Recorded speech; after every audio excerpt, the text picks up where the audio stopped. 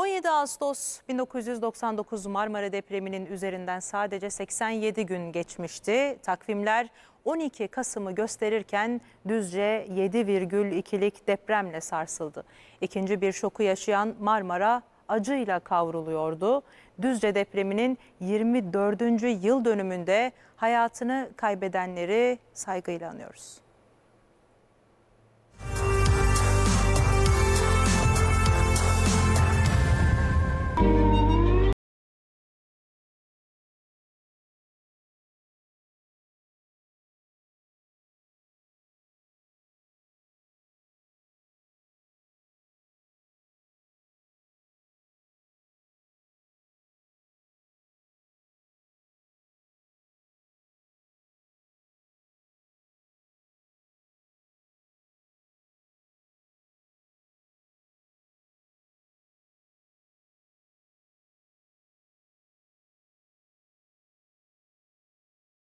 Marmara depreminden sadece 87 gün sonraydı.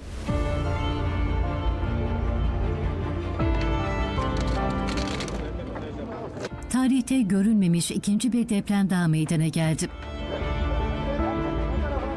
Çok fazla gözlenen bir durum değil ama dünya ölçeğinde baktığımızda bu şekilde birbirine yakın faylar birbirini tetikleyebiliyor. Tarihler 12 Kasım 1999'u gösteriyordu. Bu kez depremin merkez üssü Düzce'ydi.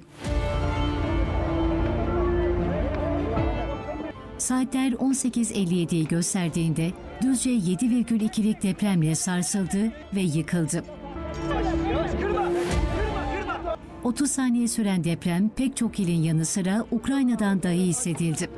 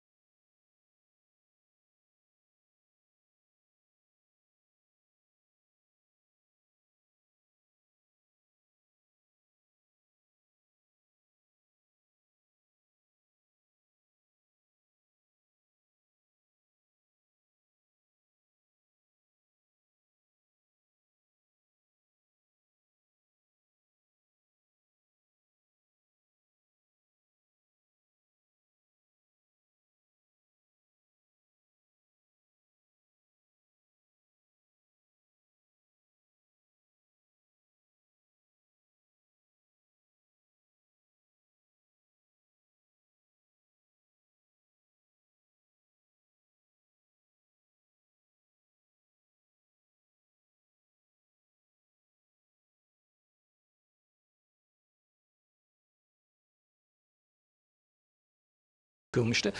Ölüm haberleri peş peşe geldi. Rakamlar ürkütücü boyuttaydı.